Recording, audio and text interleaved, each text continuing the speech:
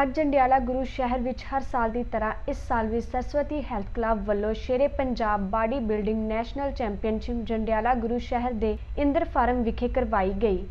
ਇਸ ਮੁਕਾਬਲਿਆਂ ਵਿੱਚ bench press, body building, strength building, best by step ਆਦਿ ਦੇ ਓਪਨ ਮੁਕਾਬਲੇ ਕਰਵਾਏ ਗਏ।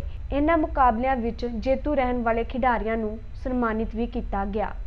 ਨੌਜਵਾਨ ਨੂੰ ਅੱਗੇ ਲਿਆਉਣਾ। ਇਸ ਵਿੱਚ ਕੁੱਲ ਲਾਗਤ ਕਿੰਨੀ ਆ ਇਸ ਟਾਈਮ ਲਾਗਤ 10 ਲੱਖ ਰੁਪਏ ਪਰ ਲੱਗ ਬਾਹਰ ਉਹਨੂੰ ਤੁਹਾਨੂੰ ਕਿਸੇ ਪਾਰਟੀ ਨੂੰ ਨਾਲ ਕਿਸੇ ਪਾਰਟੀ ਨਾਲ ਕੋਈ ਕੋਈ ਸਹਿਯੋਗ ਨਹੀਂ।